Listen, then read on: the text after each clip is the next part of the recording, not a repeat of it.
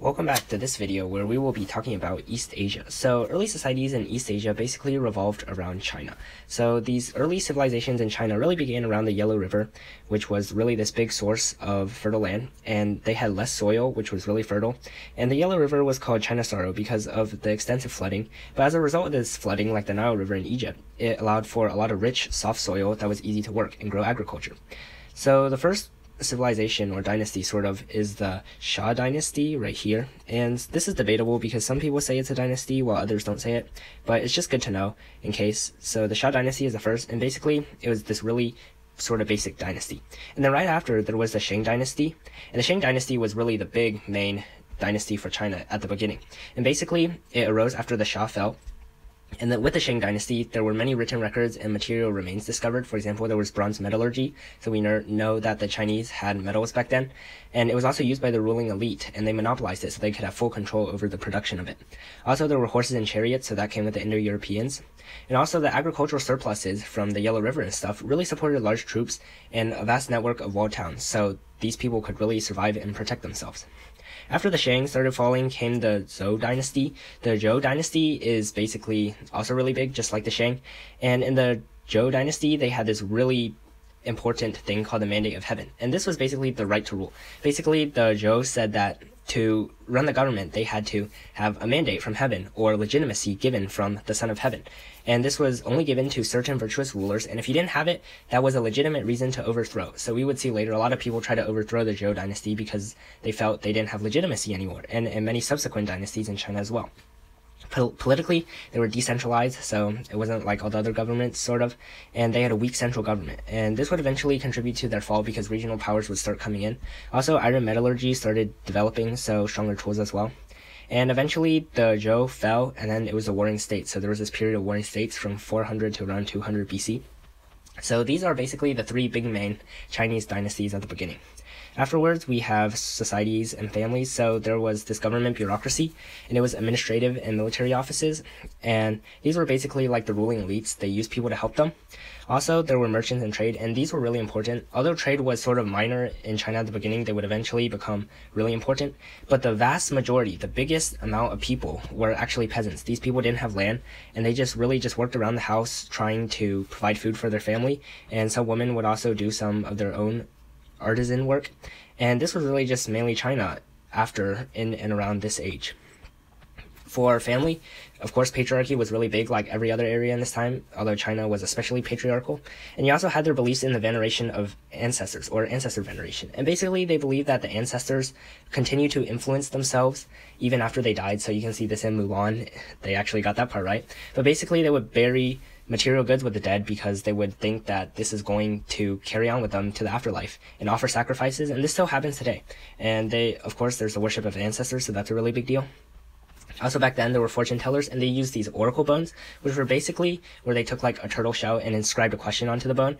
And then when they heated it up, the bones would actually crack. And then based on the cracks, they could read the message that the bone was trying to give. So that was a really big deal. And you can still find some of these like they did back then. Also, early Chinese writing was really just pictographs, so it was like simplified from pictures, unlike the Sumerian alphabet in English, which was just a bunch of characters. Also, it's modern Chinese is really a descendant of the Shang writing times, so you can see that Chinese is really an old language. Also, final thing is there was a lot of literature back then, even though not much of it exists today because it was a long time ago and a lot of paper and the stuff have disappeared. But the most notable one was the Book of Songs, and this was really a collection of verses, and it really just helped tell a lot of things about those ancient Chinese dynasties that we might not know today. So Book of Songs, remember that. And one final thing is you really need to memorize the Chinese dynasties. You'll need to know all of them because they appear frequently on the tests. And so one thing to remember is XSZ. And eventually this will continue with all the other Chinese dynasties. So the first one was the Xia, then it was the Shang, and then it was the Zhou. If you can remember this acronym, then you'll easily remember all the dynasties because you can just match up the names of the dynasties to the first letter. So XSZ, remember that for now, and we'll continue when we learn about more Chinese dynasties later. So this has been Chapter 5, Early Societies in East Asia. Now let's go to Chapter 6. Chapter 6 really begins to talk about Mesoamerica and Oceania. So this was sort of like the isolated areas around the world because it wasn't in Eurasia. But basically, there were important civilizations in these areas too. So one of them was the Olmecs, and these were basically people in Mesoamerica, so around modern day Mexico. And basically they got here from the large wave of humans that traveled from Siberia to Alaska. So that was the Bering Land Strait.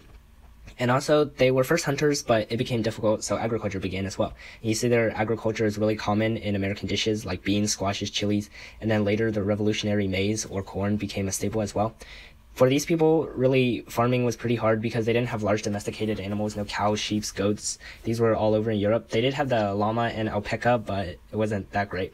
And they also didn't have wheeled vehicles, so a lot of work and heavy stuff they did really just by human power and grit.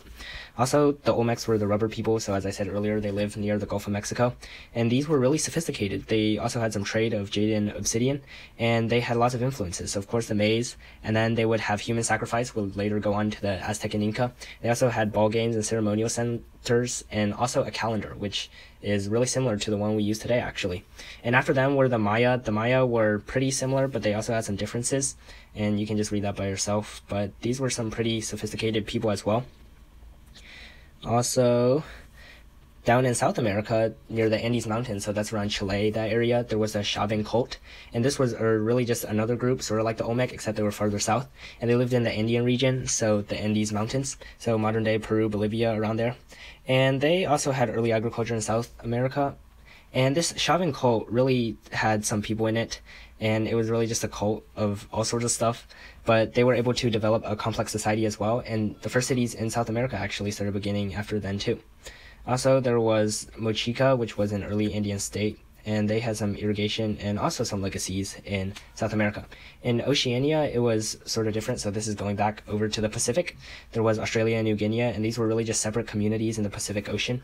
Really, these people were settled by seafarers, people from like Asia that traveled by boats. They used outrigger canoes, which really helped them to get there. They had some herding animals, and primarily they cultivated root crops, so like taro, cassava, really just those root crops you really start to think of. And some actually made it to Micronesia, which is also in the Pacific, and Madagascar, which is over in the Indian Ocean off the coast of Africa. So these people traveled pretty far, and they were sophisticated too. They had potteries and hierarchical chiefdoms. So that was also showing they had a pretty civilized government structure. So this is chapter six, early societies in the Americas and Oceania. And this video has been chapters five and six. Thanks so much for watching and hope to see you in the next one.